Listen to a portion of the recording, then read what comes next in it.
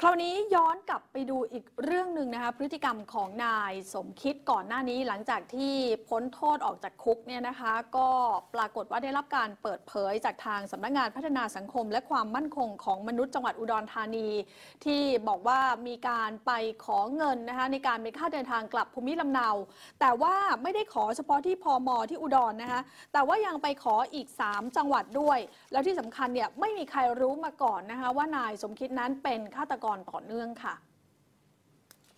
จากกรณีที่ในโซเชียลมีการแชร์โพสต์ภาพของนายสมคิดพุ่มพวงฆาตกรต่อเนื่องนะคะ หลังจากที่พ้นโทษจากคดีฆ่าหมอนวดสาว 5 ศพ แล้วก็ได้มีการตระเวนไปขอรับค่ารถกลับบ้าน จากเจ้าหน้าที่สำนักงานพัฒนาสังคมและความมั่นคงของมนุษย์ ซึ่งก็มีด้วยกันทั้งหมดเนี่ยสภาพในสถานที่แตกต่างกัน โดยภาพเนี่ยได้เขียนบรรยายนะคะ บอกว่าปีงบประมาณ 2562 นายสมคิดไปขอเงินค่าเดินทางกลับภูมิลำเนาที่ร้อยเอ็ดนะคะอุดร สกลนคร ขอนแก่น แล้วก็บึงการนะคะ ล่าสุดค่ะเดือนที่แล้วไปขอจากพอพมจพมที่จังหวัดหนองคายนะคะ แล้วก็มีการติดแฮชแท็กบอกว่ามันหาเงินเป็นจริง ๆ นะคะ ล่าสุดค่ะผู้สื่อข่าวก็เลยเดินทางไปที่สำนักงงานพัฒนาสังคม และความมั่นคงของมนุษย์ จังหวัดอุดรธานี เพื่อสอบถามข้อเท็จจริงเกี่ยวกับเรื่องที่เกิดขึ้นนะคะ ซึ่งนางสิริวิมล ผู้หริวงสุขพมจพมจังหวัดอุดรธานีเนี่ยนะคะ ก็ได้รับแจ้งจากเจ้าหน้าที่บอกว่า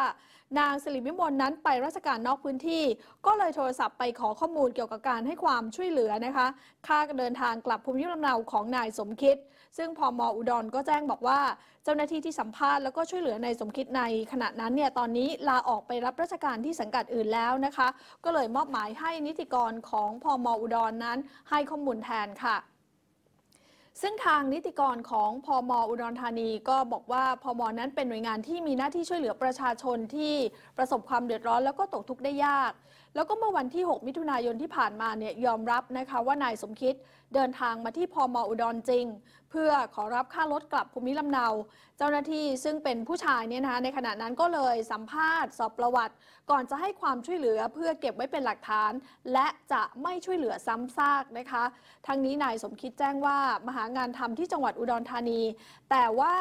ไม่มีงานทำจึงอยากจะกลับบ้านที่จังหวัดตรัง ไม่มีเงินค่ารถโดยสาร จึงมาขอความช่วยเหลือ เมื่อสอบประวัติเสร็จเจ้าหน้าที่ก็มอบเงินค่ารถโดยสารนะคะสองช่วงจากอุดรธานีมากรุงเทพ แล้วก็จากกรุงเทพมาตรังค่ะ เป็นค่าโดยสารรถยนต์แล้วก็ค่าอาหารรวมทั้งสิ้นเนี่ย 625 บาทนะคะ โดยทางเจ้าหน้าที่พอมอของอุดรเนี่ยบอกว่าไม่เคยทราบมาก่อนเลยว่านายสมคิดนั้น เดินทางไปตระเวนขอค่าเดินทางกลับภูมิลำเนาจากพอมออีก 5 จังหวัดนะแล้วไม่เคยรู้มาก่อนด้วยว่า สมคิดเนี่ยแหละ ที่เป็นฆาตกรต่อเนื่องโอ้โหหลายคนก็บอกว่าโอ้โหทุกทีที่ไปก็เนี่ยนะ แต่ละภาพที่เราเห็นโอ้เจียมเจียมดูน่าสงสารดูแบบว่าดราม่ามาเต็ม ผอมนะผอมกว่าตอนที่เขา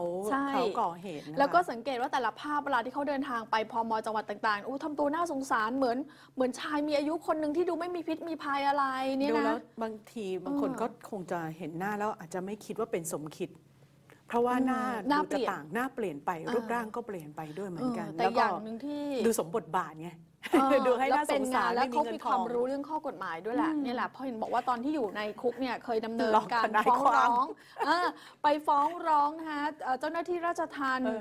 มาตรา 157 ด้วยนะมีทนายเป็นของตัวเองด้วยแต่ไปหลอกเขาว่าถ้าชนะคดีจะเอาเงินขายตึกมาให้โอ้โหเรียกว่าเป็นงานนะ แต่ว่าสิ่งที่สังคมเป็นห่วงอีกประเด็นหนึ่งก็คือว่าลูกชายของเขาหนุ่ยหน้าลายเนี่ยที่ต้องคดีแล้วก็ตอนนี้พ้นโทษออกมาตั้งแต่กุมภาพันธ์ปีนี้ที่ผ่านมาหลายคนคนก็เลยบอกว่า กรณีที่มีการไปเปิดหน้าน้องนักศึกษาคนที่เขาชี้บอแส